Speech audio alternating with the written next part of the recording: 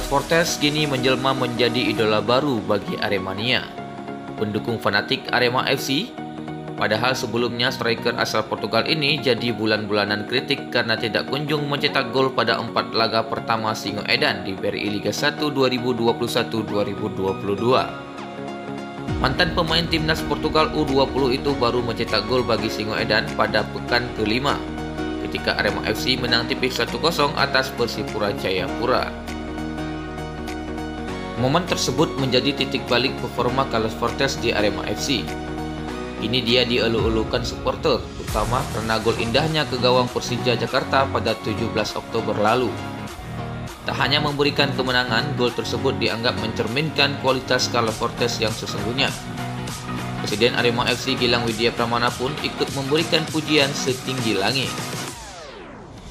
Gol itu layak masuk nominasi Puskas Award Presiden Arema FC menyambut penghargaan khusus gol-gol terbaik yang tercipta di seluruh dunia.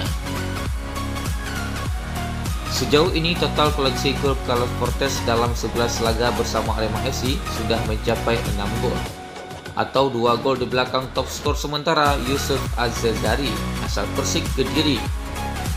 Menurut Fortes, pencapaian sementara ini tidak lepas dari kritik yang datang kepadanya kritik dari Armania justru membuat Ian termotivasi untuk berkontribusi bagi tim kebanggaan masyarakat Malang itu.